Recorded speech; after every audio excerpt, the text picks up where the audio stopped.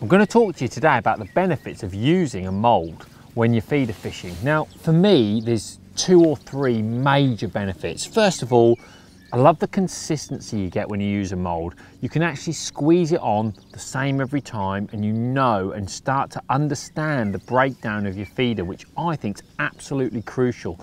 You know how long it's taking to break down, you can start reading your bites, timing your bites, and you can change things to suit how your day is going and using the mould allows you to regulate that of course, as well, it also regulates the amount of bait you're using. So you know exactly what you're doing. If you need to drop down, you can drop down in feeder size. You can step up in feeder size, but by using that mold, you can regulate the bait every time. But for me, the massive advantage is speed.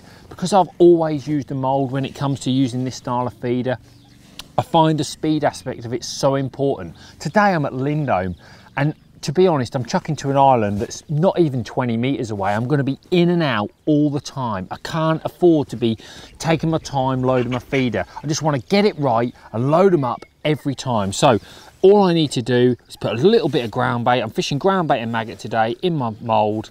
Chuck the ground bait on. I always put it on so it's very slightly heaped. Squeeze it on, one squeeze and I'm ready to go. It's as quick as that.